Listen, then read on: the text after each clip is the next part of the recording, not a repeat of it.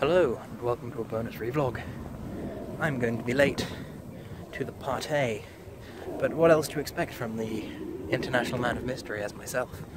Personally, I think this sort of suit would suit me, were I to wear a proper version of it as opposed to a like six pound Austin Powers costume. Anyway, um, yeah, I'm gonna be late, but that's fine. I'm not that fussed. Didn't want to arrive first, and I'm not going to know that many people there.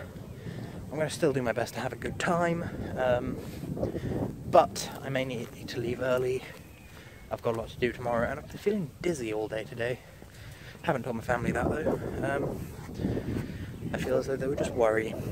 Anywho, the sunglasses are because um, my mother insisted. And I've got nowhere to put them. So, yes. And, yeah, because the sky's a bit cloudy. Just a smidge. Uh, yeah. And these are present for host. With a note on the back that I'm not going to show you because then you could read it. And it's just for them. Um, it's nothing, like, private really, but I want them to be the first ones to read it, you know? I think that's fair.